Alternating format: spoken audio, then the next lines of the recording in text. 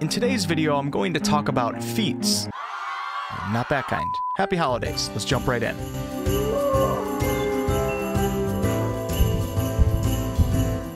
The first thing that I have to answer before we go over all of the feats individually is what exactly are feats? The easiest way to describe feats are that they're special talents, oftentimes passive talents, or areas of expertise that your character can unlock at specific levels.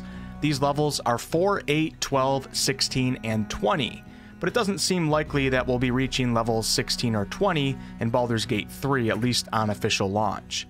In early access, the current max level is 4, so this is when you get your first chance to pick up a feat if you so choose. At the same level that you can choose a feat, you also get the option to simply take an ability score improvement, which allows you to increase one ability score by 2 or two ability scores by 1 each.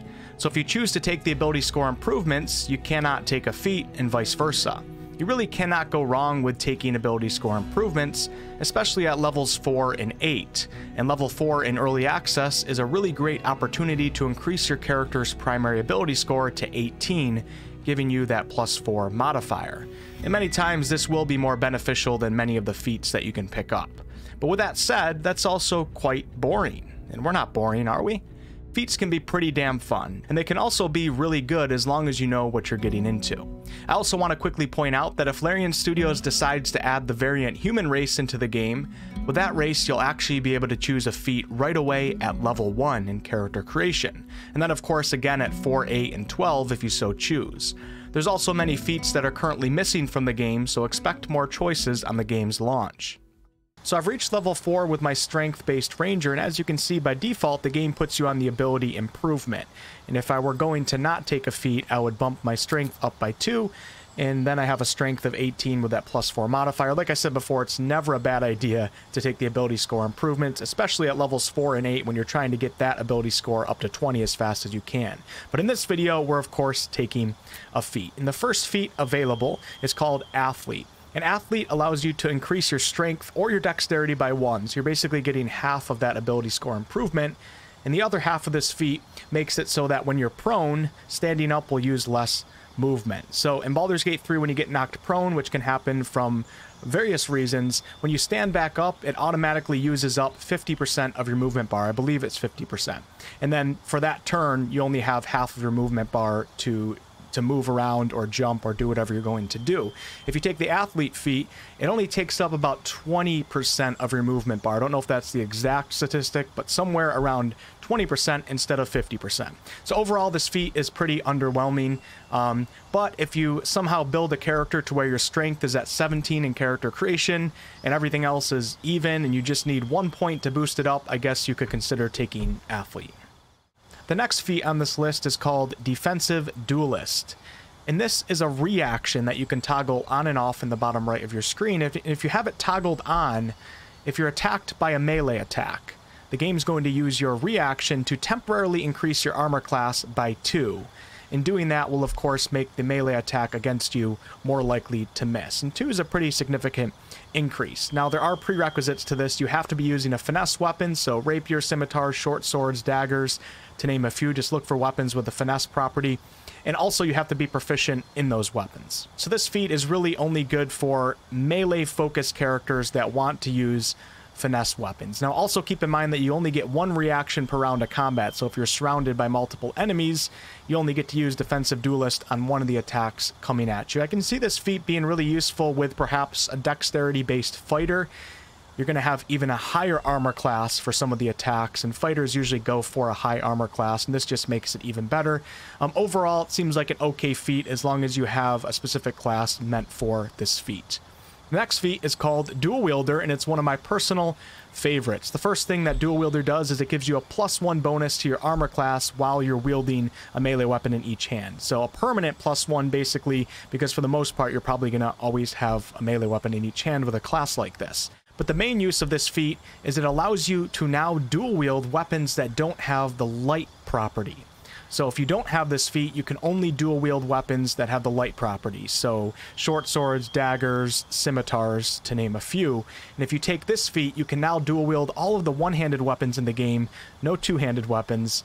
Um, and those weapons include maces, long swords, um, axes, uh, one-handed axes, really cool weapons that look really cool. And most of these weapons are also going to offer um, an extra D2 per weapon in potential damage that you can do because a lot of the light weapons are either 1d4 or 1d6, while the one-handed weapons that don't have the light property are usually 1d8. Now, technically speaking, you're probably better off um, taking this feat later on in the game and instead taking the ability score improvement to either boost up your dexterity or your strength, which is going to benefit you probably more often than using the dual wielder feat. But if you just want to have fun and wield these badass heavier weapons in each hand and also have a higher potential damage, which I love doing stuff like that, this is a really, really cool feat, and I recommend you guys trying it for those of you guys that love dual wielding. Next up is the Mighty Great Weapon Master feat. This is also uh, one of my personal favorites along with Dual Wielder. And of course, this is mainly for those of you guys that are going to be wielding heavy melee weapons or two-handed weapons. Now, the first benefit of the Great Weapon Master feat is that when an attack with a melee weapon scores a critical hit or kills a creature, you can make another melee weapon attack as a bonus action. So if you get a critical hit or you knock a creature to zero health, the game automatically allows you to use your bonus action to do another attack. And this is this could be potentially really powerful, even though critical hits um, and life-ending hits are more situational, I guess you could say, and don't happen that much. They do happen sometimes. The unfortunate thing is that this currently does not work in early access. At least in my testing, I couldn't get it to work. It wouldn't give me the bonus action. I, my bonus action showed, but it wouldn't let me take another hit. I also want to mention that the first part of this feat, when it actually is working in the game, it benefits all melee weapons, not just the heavy melee weapons. But the main use of this feat is using heavy melee weapons such as great axes, your two-handed weapons, um, great swords, um, glaives, and also pikes and halberds, I believe. And when you're wielding those weapons, if you toggle Great Weapon Master on, because you can toggle this on and off in the bottom right of your screen, you get a damage increase of 10 if you land your melee attack. And this comes at the cost of taking a minus 5 penalty to your attack roll. So you're more likely to miss your attack, but when you do hit, you get a damage increase of 10. Not 1d10, just a straight up 10. This is really, really powerful. Since the minus 5 penalty to your attack rolls is also pretty significant, you want to look for ways to offset that a little bit by either getting advantage um, when you're attacking or simply using Bless from a cleric in your group, which will give you a plus 2 to your attack rolls, making that minus 5 a minus 3. Now this feat is not for those of you guys that break your keyboard every time you miss because you are going to miss more often. But statistically speaking, this damage increase of a solid 10 on top of your weapons damage is going to outweigh the misses. You're going to get more benefit out of this than what you might think. Now, if the variant human becomes available at some point, um, like with the dual wielder feat, this is a great feat to take right away at level 1 if you know you're going to be a two-handed wielding fighter or ranger. And also keep in mind that uh, if you do it with a ranger, you also have Hunter's Mark, so that's even more damage on top of that, and that's what I'm doing with my particular build with this character right here. Alright, the next feat is called Heavily Armored, and this one does have a prerequisite, and the game actually says the prerequisite is having proficiency in survival, I think that's an error. The real prerequisite is supposed to be having proficiency with medium armor, so you can't take this if you don't already have medium armor. Proficiency, if I choose this perk and I'm playing as a character like Gale, who doesn't have medium armor, it just says you need proficiency in survival. I think this is just an early access, unfinished part of this feat. Now, the heavily armored feat will obviously give you proficiency in heavy armor, so you can wear heavy armor and get that plus two proficiency bonus, and it also increases your strength by one. This feat really isn't good for early access. And the reason is we don't have a big selection of heavy armor in the game. Um, really, the heavy armor that you're going to find in the first 90% of your playthrough is going to be 16 armor class. And with heavy armor, you don't get to add any modifiers on top of that 16. Now, medium armor, you'll find medium armor fairly early on in the game if you just strip it from Lae'zel, and that gives you 15 armor class, but you get to add a maximum of plus 2 from your dexterity modifier. So most of you guys that use medium armor will have 15 plus 2, which equals 17, which is higher than that 16 that you would get with heavy armor. Now, there is heavy armor later on in Grymforge that you can make that gives you 17, which then equates to the medium armor, but still, at this point in early access, there's really not much of a point in taking this when you can just achieve the same thing with medium armor, and um, you already are going to have medium armor proficiency before you consider taking heavily armored feat, so largely um, useless at this point of early access. After heavily armored is, of course, lightly armored, and lightly armored gives you proficiency with light armor, and also you can increase your strength or dexterity by one. Now, it's important to keep in mind that there's only two classes currently in early access that don't have the light armor proficiency, and that is the Wizard and the Sorcerer. And the Wizard and Sorcerer also get the Mage Armor spell, which gives your armor class a boost to 13 plus your dexterity modifier. So for the most part, this is really not going to be useful until we get better um, light armor in the game. So mage armor gives you 13 plus your dexterity modifier, so it'll probably give most of you guys a 15 or a 16 um, armor class, while the best light armor, from what I understand, currently in early access, is also 13. It's studded leather plus 1, and then you get to add your dexterity modifier to that as well. So you're already going to be able to achieve this armor class number with your mage armor spell, but if you don't want to waste that spell slot on mage armor every time you come off of a rest, I guess you might want to consider taking this, but it doesn't really seem worth it, in my opinion, not yet. Next up are the Magic Initiate feats, and you can choose between Magic Initiate Cleric, Druid, Sorcerer, Warlock, and Wizard. And if you choose this feat, it's going to give you two cantrips and also one first level spell from the chosen class associated with the Magic Initiate feat. So if you're playing as a Druid and you choose Magic Initiate Cleric, you then get to choose two cantrips from the Cleric spell list, and these cantrips can be used um, as much as you want. They're just regular cantrips. And you also get to choose one first level spell. Now the catch with the spells though is that you only get to use them once per long rest. They don't cost you a spell slot, so it is fairly limiting. Now another thing you have to keep in mind with the Magic Initiate feats is that the spells that you learn are powered by the spellcasting modifier from that class.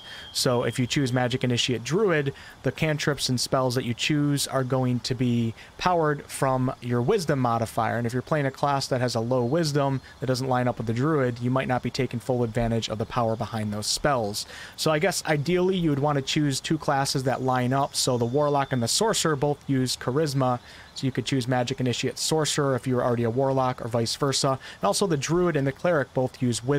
And when multi-classing is implemented in the game, this is going to open up far more options in regards to this. I don't know if this feat is really worth it for most of you unless you have a solid plan. And one great thing that you can do, just to give you an idea, is to be playing as a sorcerer and then take Magic Initiate Warlock. Um, and then you can take Eldritch Blast, which is a great cantrip. And the main spell that you want to take with this combination is Hex, which gives you an extra 1d6 necrotic damage on top of um, your attacks on an enemy. And the sorcerer can learn a spell called Scorching Ray, which fires three rays of 2d6 fire damage. And with Hex, that 1d6 is going to be added onto each of those rays. So you're kind of making, uh, it's, it's like a mild version of multi-classing in a really, really powerful combination. But generally speaking, um, unless you just want to have fun and try another spell, I don't really know how good this is, um, except for the combination that I just told you about. One more quick thing to keep in mind is that your modifier doesn't matter for some of the spells, such as Jump, uh, Featherfall, and Find Familiar, so just keep that in mind. If you really need a certain spell, you don't really have to worry about what modifier it scales off of. And the next feat is called Martial Adept. So Martial Adept allows you to learn two maneuvers from the Battlemaster archetype, which is a subclass of the fighter, and you get one superiority die to power them, and that will replenish after a short rest. So basically, you get to use, um, well, you have the option to choose between two maneuvers, and you get to use one of them per short rest with the class that you take. And honestly, with the verticality in this game, I can see this feat being pretty useful if you take pushing attack, which makes your melee attack not only deal more damage, but also knocks an enemy back. And you can also do it with a ranged attack too. And when you push enemies back in this game, oftentimes it leads to them falling to their death, especially on the Githyanki encounter. Even if they don't die, you're doing massive damage by knocking them off a ledge. So this feat can be pretty useful. I would consider taking it with a class such as the Ranger to expand more upon their uh, martial capabilities because the Ranger doesn't really have that much, I guess you could say. Or you could take it with the Battle Master if you're already a Battle Master to get another superiority die and have more choices for your battle maneuvers, or perhaps as an Eldritch Knight to expand upon their martial capabilities. But overall, considering how limiting this is, you can only do it once per short rest, and it's not even guaranteed to work when you do it because if you use pushing attack, the enemy does a saving throw to possibly prevent being pushed back. That's pretty limiting, which makes it really not as good as it could be, I guess you could say, but uh, it, it could work to your benefit. All right, now on to a feat called Mobile. And Mobile increases your movement speed by, I think, 10 feet. Is that what it says right here? 3 meters or 10 feet. It also makes it so that the dash action will no longer be slowed down by difficult terrain that might be in front of you from the environment, or may, perhaps the enemy put down something on the ground. But I think the best use out of this, or maybe tied with the movement speed increase, is that after you make a melee attack on an opponent, it's going to make it so when you move away from them, even if you miss that melee attack, that enemy is not going to be able to take an opportunity attack on you. So if you do this with a rogue, um, and you take a melee attack on an enemy, you can simply just walk away. You have that increase to movement speed, and you also still have cunning action um, dash, so you can move pretty much anywhere on the freaking battlefield that you want if you have a feat like this. I'd say it's a pretty good feat if you're playing a character that is engaged in a lot of melee combat, and moving around the battlefield is, is something that's really, really important to you. Um, this feat has a lot of power behind it you're going to be quite the uh, the monk, I guess you could say. Uh, the monk class might be coming next. Next up is the moderately armored feat, and like heavily armored and lightly armored, this time it gives you proficiency in medium armor. The prerequisite should be having light armor proficiency, so you can't get this feat unless you already have light armor proficiency. But like the heavily armored prerequisite, it's showing as needing survival proficiency, and I don't think that's right. I think it's an error in the game, and it should be fixed by the time the game comes out. Along with gaining medium armor proficiency, you also get to increase your strength or dexterity by one. Now, the only two classes that can really benefit from this feat currently are the Rogue and the Warlock, who already have light armor proficiency, which should be the prerequisite, but don't have medium armor proficiency. Um, keep in mind that the Githyanki race and the Shield Dwarf race um, allow you to get medium armor proficiency in character creation if you do play those races, and then you won't need this feat. But the, for the Rogue and the Warlock, this can allow you to really boost up your armor class, especially if you put on a shield, because you can get that 15 armor class from the Githyanki armor. You get to add plus 2 from your dexterity modifier and put a shield on the Warlock and the Rogue. I'm not sure if you'd want a shield, you'd likely be dual wielding with the Rogue, but you can get some pretty high armor class numbers for those two specific excuse me, two specific classes if that's one of your goals with those characters. So Probably not a bad feat if you have a plan and you really care about having a high armor class number. Next up is the Shield Master feat, and of course you're only going to consider this with a character that uses a shield. And the Shield Master feat is going to be something that you can toggle on and off in the bottom right of your screen. There's probably no reason to not leave it toggled on if you do take this feat. The first part of this feat is that it gives you a plus 2 bonus to dexterity saving throws when you're wielding a shield.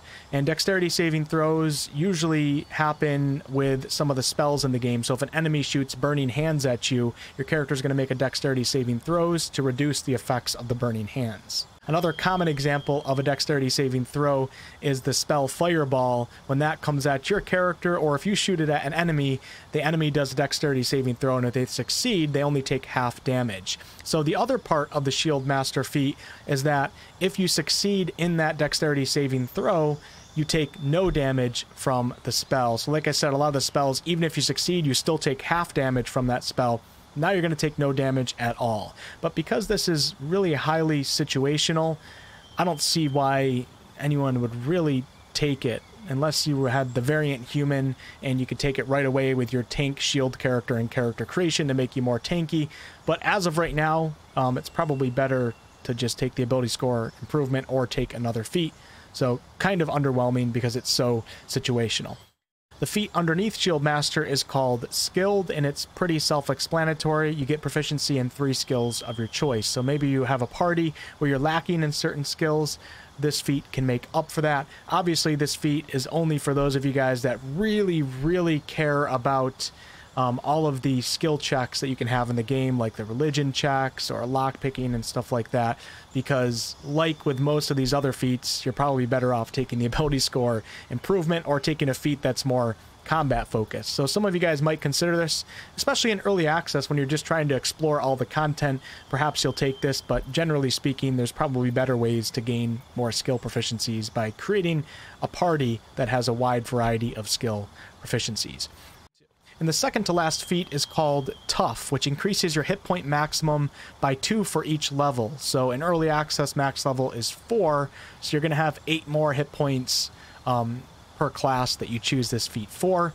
Um, as a squishier class with generally lower HP, like a wizard or sorcerer, um, the classes that have um, six hit points to start out, this will probably equate to more of a percentage of an increase in health, while the characters that have 1d10 or 10 hit points to start out, like a ranger or a fighter, this isn't as much of a percentage increase. It's hard to determine whether or not this is a good feat or not because you can always take the ability score increase and put it into Constitution, and every time you boost up your Constitution modifier, you get another hit point per level, so it's half as much as tough.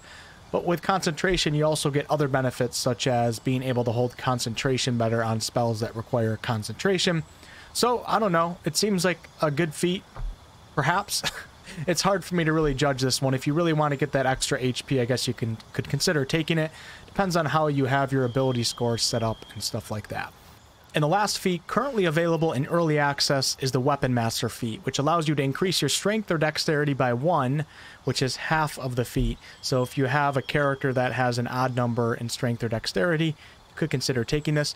And also you get proficiency with four weapons of your choice. It sounds exciting, but I don't see the need for four weapons, to be honest with you. Um, keep in mind that the ranger and the fighter already have martial weapon proficiency, so this feat is basically useless for those in some of the classes that you play, you don't really care about your weapon. Um, most of the time, wizards, warlocks, and sorcerers, your weapon doesn't matter because you're focused on spellcasting. Not all of the time. There are ways to do cool builds, and I know some people are going to say Hexblade Warlock and stuff like that, but generally speaking, just make sure you know what you're doing before you take this feat.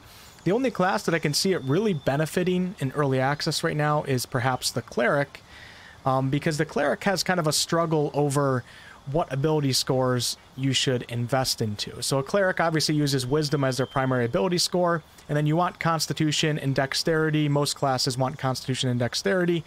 But then if you want to have good damage um, with your melee weapon as a cleric, you kind of run into that issue of how much should I invest into strength, because strength is therefore going to take away from con, dexterity, and wisdom. But now you can do a dexterity build cleric and basically dump strength and instead take proficiency with the rapier, which gives you that damage boost up to 1d8, making your cleric more powerful in melee combat. So if you if you're doing a dexterity based cleric, you're not going to be able to use any weapons above 1d6, but if you have a finesse weapon of rapier and you use it with this feat, you take rapier, then you can get that damage boost. And also you could take um, heavy crossbow proficiency with this too. So then you boost your cleric's range damage and also their melee damage. So yeah, this could be useful. I think they changed Shadowheart's ability scores up in patch 6, so she's not as funky with her ability scores, but it could be useful for Shadowheart or clerics in general, or if you're playing something and you really just want that proficiency in a certain weapon that you don't have, just have fun. It's not always about optimizing everything. But that'll be it for today's video. Thank you guys so much for watching. I know this went on fairly long, but I wanted to talk about each of these feats, and I appreciate you guys hanging out through this video as I talk about them kind of off the top of my head as opposed to the more scripted content that I typically do. If you have any questions, put them below in the comments. Uh, I'll try to answer them myself, and of course, other people in the community will probably be excited to help you out because feats can be a little bit confusing. Like I said, when in doubt, go the ability score improvement, but early access is about having fun, and when the official game comes out, um, feats are probably going to be much more useful, especially if the variant human makes it into the game. And then you also have to consider multi-classing, though, which is a topic for another day. Happy holidays. Ah, I screwed up the ending. Catch you on the next one.